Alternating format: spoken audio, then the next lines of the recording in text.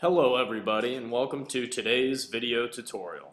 My name is Dave Rossborough and I will be showing you how to create your own Facebook PPC campaign from scratch. We have a lot to cover today as shown above. My hope is that this video tutorial will shed some light on the basic setup process for new Facebook campaigns and therefore enable more advertisers like you and I to take advantage of Facebook's massive user audience. So let's get started. First, you'll need to create a Facebook page for your business or brand. To do this, click on the link that says Create a Page from the Facebook homepage. After you've clicked the link, your screen should look like the image above. As you can see, Facebook pages can be created for nearly anything, including brands, institutions, causes, and many more. For the purpose of today's walkthrough, I've selected to use the company organization or institution option. Here, you need to select the genre that your company or business falls under. Then, simply choose a name for your Facebook page and accept the Facebook page's terms. After you've added your basic business info, you need to set up a new account. Of course, this is assuming you haven't set one up already. If it's already set up, simply click the link above that says I already have a Facebook account. Otherwise, input a new email address and password, then specify your date of birth as shown above. After you've input your, in, your account information, you need to confirm your email address in order to finish the account creation process. An automatic message will then be sent to the email address used in the previous step, so simply click on the link provided upon receiving said email as shown above. Next, Facebook will ask you to upload a profile picture to use with your account. However, the system also allows you to skip this step if, step if necessary. You then need to add some contextual information and URLs for your website. As with the last step, you have the option to skip this portion as well. Now that the preliminary info is taken care of, you will now need to enable the advertising features and input your billing info. To enable the advertising features in your account, simply click the button indicated by the red arrow above. You might also notice that advertisers are allowed to skip this step as well. However, keep in mind that you won't be able to advertise on Facebook until you complete this. Once you click Enable Ads, you will then be prompted to add a funding source, as shown above. Nothing too crazy here, just select one of their supported payment types and import, input your billing information. So for the next part of the process, you will need to create your first Facebook ad. To do this, navigate to the advertising section and click Create an Ad, indicated by the red arrow in the screenshot above.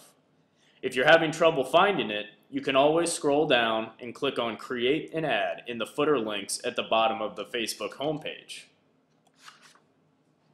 First, you will be asked to choose your Facebook destination or provide an external URL. As you can see above, they offer a few different possibilities, including you can use external URLs, Facebook URLs, or destination IDs. If none of these are suitable, you can also select specific pages and places around Facebook.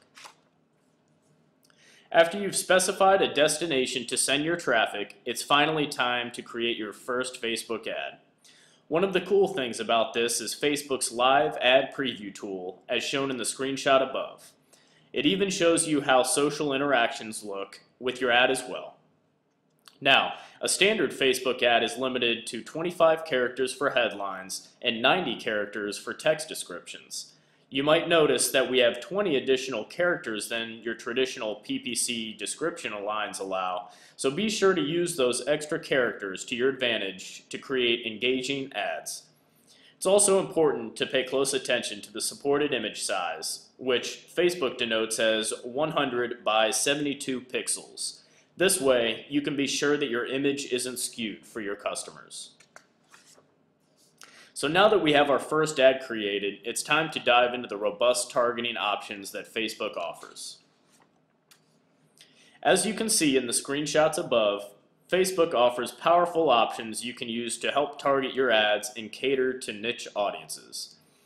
You can choose from precise interests, broad categories, connections, and additional advanced options, such as relationship status, education, and workplace backgrounds.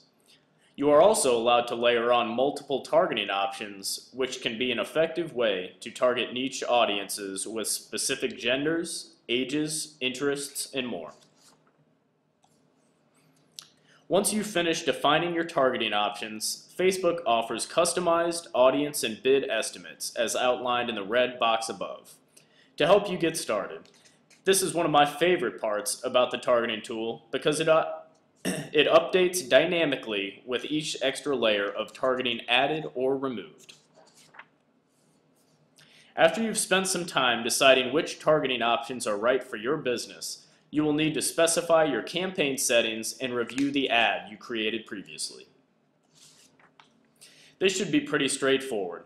Simply give your campaign a name and budget, then choose whether you want it to start running today or at a later date. This is also where you set your campaign bid. In the example above, I've entered a bid slightly above the lower limit of my suggested bid. However, these can always be adjusted later as well. Here, advertisers have the opportunity to review their campaign settings, ad copy, targeting options, and more before launching. Simply click Place Order if everything looks good. After you've finalized and launched your new campaign, it's important to set up conversion tracking so you can monitor performance. Just announced recently, your first option is to set up your conversion tracking directly through the Facebook ad interface. However, the alternative option prior to this change, you had to track them manually in Google Analytics with custom tags. Now, for this example, click on Conversion Tracking on the left-hand side nav, then on the green button that says Create Conversion Pixel. To create your first Facebook conversion pixel, you'll need to give it a name and select from one of the supported categories. Once you've done so, Facebook will generate a conversion pixel code for your site. Simply copy and paste the provided code between the head tags on your thank you page and you're good to go. The pixel will then remain unverified until an action occurs. So there you have it, a new Facebook ad campaign built from scratch. I hope that you found this video helpful, so please feel free to leave any feedback in the comments section below. Thanks for watching.